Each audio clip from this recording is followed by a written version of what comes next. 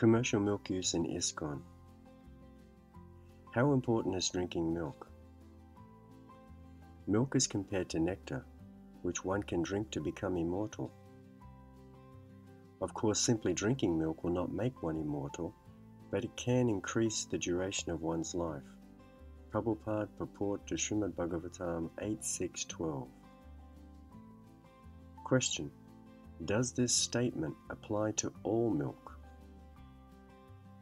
Prabhupada compared purity to milk on thousands of occasions. In his mind, milk was synonymous with purity. However, modern commercial milk is far from pure and therefore cannot be referenced in this connection. I cannot manufacture gold, I cannot show any jugglery, but if there is any credit, then the only credit is I don't adulterate. That's all. The pure milk. I don't show my expert service by adding water in it. Lecture on Bhagavad Gita 327, Madras, January 1st, 1976. Milk is undoubtedly very good and nourishing. But when it is touched by the mouth of a snake, it is no longer nourishing. Rather, it becomes a source of death. Srimad Bhagavatam 1341 purport. What's in commercial milk?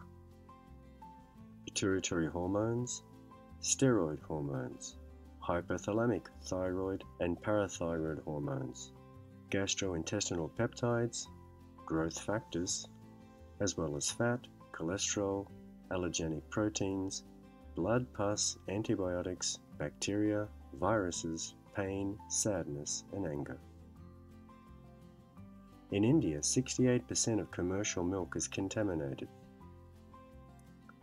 More than two thirds of milk samples tested in a cross country health survey in India were found to be contaminated with additives such as detergent and fertilizer, reports The National. Some samples also were found to contain more alarming substances, such as detergent, the bleaching agent hydrogen peroxide, and the fertilizer urea. Also, the addition of water not only reduces the nutritional value of milk, but contaminated water may also pose health risks. India News Report. Now, if milk is contaminated in a country where the cow is revered, what can we expect of other countries? But the cow benefits if we offer her milk to Krishna, says some Hare Krishnas. If one were to make a calculation of how many cows, calves that might be benefited, you would realize that it is merely a drop in the ocean of the actual number of cows, calves that are not able to offer their milk to Krishna. But Krishna loves cows, says some Hare Krishnas. Yes, Krishna loves cows, but he also loves cats, dogs, and horses, but we don't offer their milk because it is not considered sattvic pure. But based on the logic used by these same devotees, if we did, the dogs, cats, and horses would be liberated. Not all milk is sattvic. Krishna does not need any food, but he agrees to accept sattvic foods if they are offered with bhakti devotion. Question Is contaminated commercial milk sattvic and therefore offerable? Prabhupada claims that all sinful activities are a direct result of milk that is forcibly taken from a cow. And yet, many ISKCON devotees persist with the rationalization that by purchasing stolen milk, they are somehow immune from this sin. What about the calves? Yes, some cows will benefit if somehow their milk is offered to Krishna. But what about the tens of millions of calves that end up on people's dinner plates as a direct result of one's choice to purchase commercial dairy products? And then there is the fact that dairy cows are routinely raped by men wearing gloves. The cow is giving milk, like mother. Why should you kill it? This is humanity to kill the mother? So, in this way, we are encroaching the rights of others and we are becoming subject to be punished by God. Room Conversation, August 10, 1976, Tehran.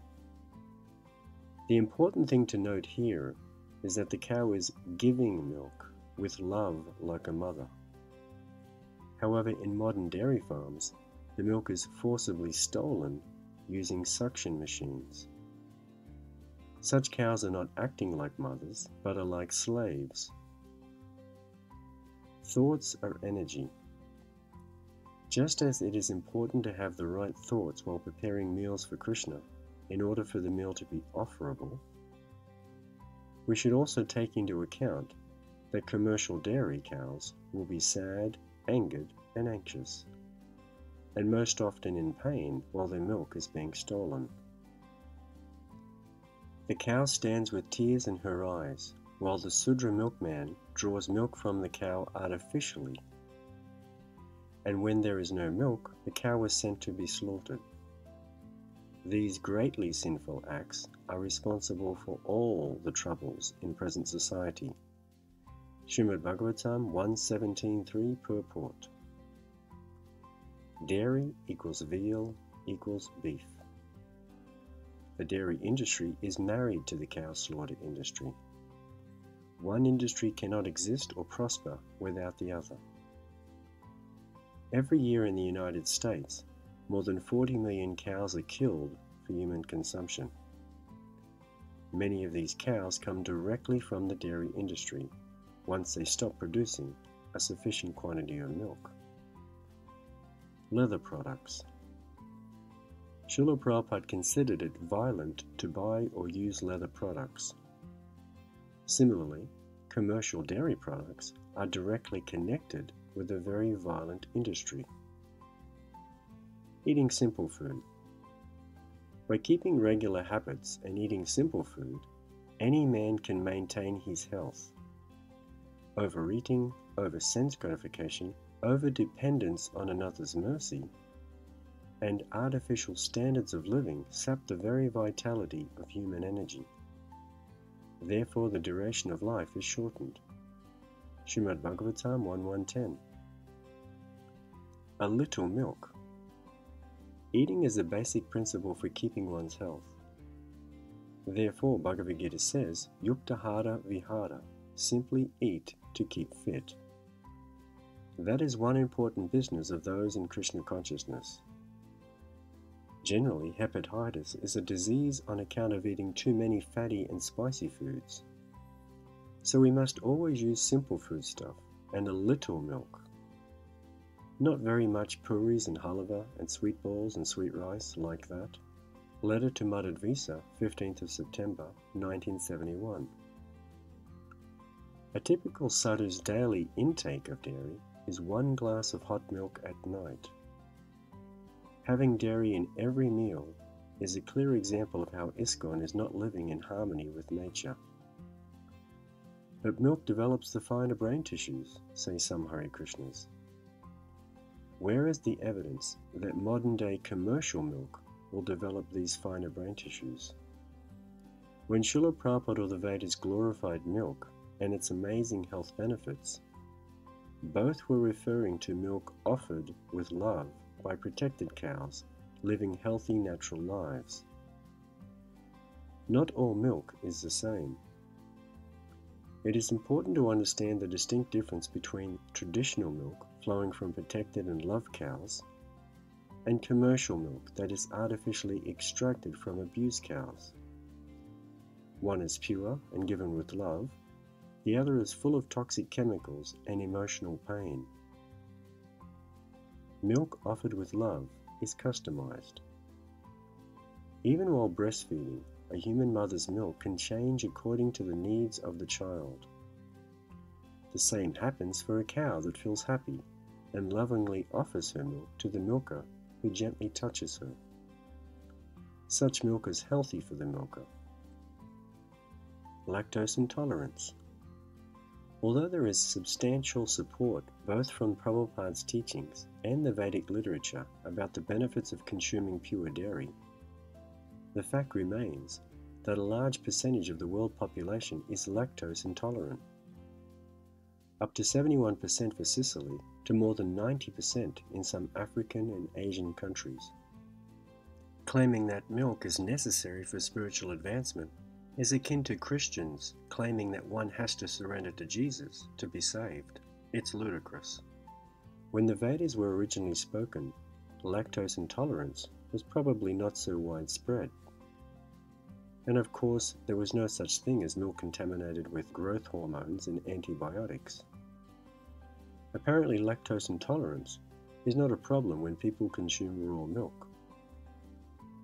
Prepared in various ways. I have noted your question carefully, and regarding your question about prasadam recipes, Krishna is offered foodstuff in goodness. The foodstuffs in the mode of goodness are wheat, rice, pulse, beans and peas, sugar, honey, butter, and all milk preparations, vegetables, flowers, fruits, grains. So these foods can be offered in any shape but prepared in various ways by the intelligence of the devotees. So you can make your own recipe if you like, so long as the ingredients are within this group. Krishna is not Indian, Therefore, it is not absolutely necessary to offer Krishna a dairy based Indian diet if there is no pure ahimsa milk available. Prabhupada told us that we can cook according to local taste. And this is exactly why he gave permission for the Italian devotees to make their own pasta. Not all sugar is in goodness. Prabhupada often mentioned that sugar was in the mode of goodness. But the fact is, most sugars, especially white processed sugar, is toxic to our health and processed using charcoal filters made with bones, making it tamasic, impure. The same logic applies to milk. In a room conversation in Vrindavan in 1977, while on his deathbed and sipping fresh milk from a protected cow, Prabhupada said, If I drink this milk twice, morning and evening, I think I can avoid any food. Tamal Krishna, you can what? Prabhupada, avoid any food. Tamal Krishna, you don't like fruit juice? Prabhupada, I mean to say, I can drink in the meantime, but by simply drinking this milk, I can live healthy. Can one survive on milk? The late Gopinath Acharya Prabhu, a Prabhupada disciple in Australia, once stated Fresh raw milk is nectar and increases the duration of life. A raw milk diet cures practically every chronic disease. There is no alternative to this most important food in the world. Recently, I lived for two years exclusively on fresh raw milk from my own cows, which I looked after with their calves. My health improved dramatically. But Krishna requires milk, say some Hare Krishnas. No, Krishna never said that. Krishna only asks for our devotion, and in fact, milk is not even mentioned by Krishna, including the famous Bhagavad Gita quote If one offers me with love and devotion a leaf, a flower, fruit, or water, I will accept it. Bhagavad Gita 9.26 Krishna only wants bhakti, devotion. Bhakti or love is a verb, a doing word. We demonstrate our bhakti through practical actions. Since eating is the most fundamental thing we all do, selecting and preparing food with devotion is critical to spiritual advancement. Devotion begins from the time we grow or purchase ingredients.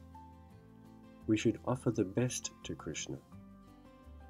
There is no expenditure he is agreeable to accept a little fruit, a little flower, a little water. Simply he wants your devotional love. That's all. He's not hungry. Of course, this society is, according to our capacity, offering Krishna the best foodstuff. Not that because he says fruit, flower, leaf, or water, therefore we offer him only fruit, flower, leaf, or water. No. We offer him to our best capacity, the best, the best foodstuff. That should be the motto. Lecture on Srimad Bhagavatam 215, Los Angeles, August 13, 1972. But what if a temple does not have land to protect cows? ISKCON has two options for acquiring ahimsa dairy. One, it can protect cows and create its own source of pure milk, or 2. Form a cooperative of devotee consumers and approach organic dairies and sponsor cows with the condition that the cows are never abused or killed, thus ensuring the farmer of a guaranteed income. In other words, yukta vairagya, using things in the service of Krishna. Prabhupada often gave the example of the field mouse and the snake to illustrate this point. The field mouse spends a lot of effort creating a nice home in the field, but soon the snake comes along and eats the mouse and takes over the home.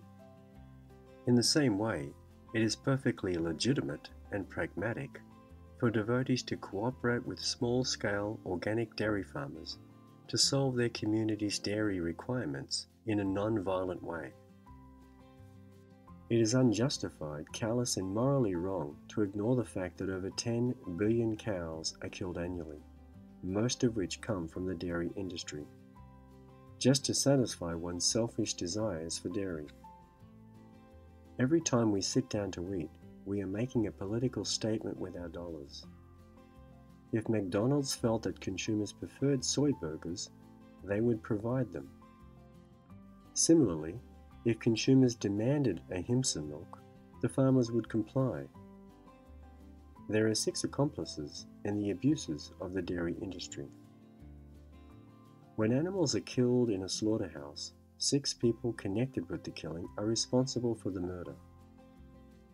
The person who gives permission for the killing, the person who kills, the person who helps, the person who purchases the meat, the person who cooks the flesh, and the person who eats it all become entangled in the killing.